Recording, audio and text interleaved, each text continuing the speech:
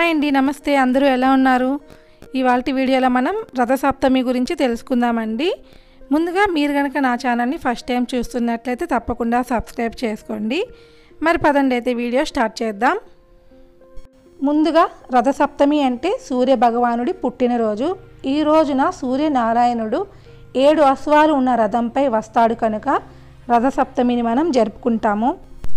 రథసప్తమి రోజున జిల్లేడి ఆకులతో అలానే రేగిపళ్ళతో తల స్నానం చేయటం వలన ఆయురారోగ్యాలు చేకూరుతాయి. సూర్య కిరణాల శక్తి ఈ కాలంలో ఎక్కువగా చిక్కుడు కాయల మీద అలానే రేగిపళ్ళ మీద జిల్లేడి ఆకుల మీద ఎక్కువగా ఉంటుంది. అందుకని వీటితో మనం సూర్య భగవాన్ని పూజించుకోవాలి. ఈ రోజున చిక్కుడు కాయలతో రథాన్ని తయారు చేసుకొని సూర్య భగవానుడి రథంగా భావించి మనం పూజించుకోవాలి. ఈ పూజని మనం తులసి చెట్టు ముందు సూర్యకిరణాలు పడే చోట చేస్తే చాలా మంచిది. అలానే ముగ్ పూజ చేసేటప్పుడు రథం ముగ్గు తప్పనిసరిగా వేయాలి. రథం ముగ్గు వేసి చుక్కుడు కాయలతో చేసిన రథాన్ని పెట్టి పూజించాలి. ఈ రథాన్ని సూర్య భగవానుడి రథంగా భావించి మనం పూజించుకోవాలి. అలానే సూర్య భగవానుడికి పరమాన్నం చేసి చిక్కుడు ఆకుల్లో పెట్టి నైవేద్యంగా సమర్పించాలి. సూర్యనారాయణుడికి సంబంధించిన మంత్రాలని చదువుతూ ఎర్రటి పుష్పాలతో స్వామిని మనం పూజించుకోవాలి. ఈ విధంగా రథసప్తమి రోజు సూర్య భగవానుడిని పూజించినట్లయితే ఆయురారోగ్యాలు మనకు చేకూరుతాయి. అయితే చుక్కుడుకాయలతో రథాన్ని ఎలా తయారు చేయాలో చూద్దాము. ముందుగా చుక్కుడుకాయ రథానికి కావాల్సింది ఏడు చుక్కుడుకాయలు అయితే అవసరమవుతాయి. ఏడు చుక్కుడుకాయలతో ఎందుకు చేస్తాము అంటే సూర్య భగవానుడి రథానికి ఏడు అశ్వాలు ఉంటాయి అలానే ఏడు అశ్వాలుగా మనం ఏడు చుక్కుడు కాయల్ని భావించి చుక్కుడు కాయలతో రథాన్ని తయారు చేస్తాము. నేను ఏడు చుక్కుడు కాయలు అలానే టూత్పిక్స్ తీసుకున్నాను. ఈ రథాన్ని టూత్పిక్స్తో అయినా తయారు చేయవచ్చు లేకపోతే మనం వాడని చీపూరు కట్టలోని పుల్లలతో అయినా తయారు చేయవచ్చండి. ఇప్పుడైతే నేను రథాన్ని ఎలా తయారు చేయాలో చూపిస్తున్నాను చూడండి.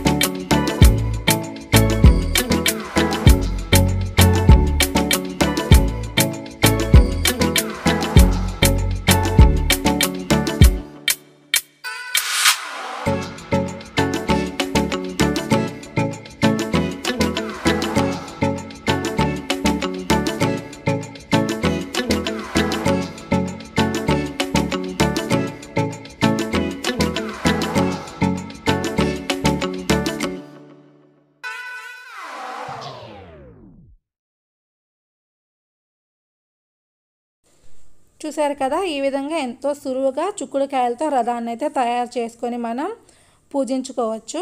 ఈ వీడియో మీకు నచ్చింది అని అనుకుంటున్నాను. మీకు కనుక నచ్చినట్లయితే నా ఛానల్ని సబ్స్క్రైబ్ చేసుకోండి.